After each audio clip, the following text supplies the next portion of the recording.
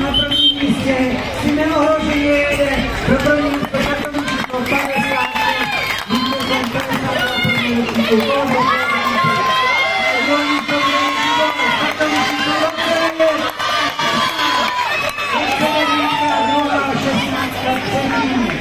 To jsou tři jednotky borci letošního roku.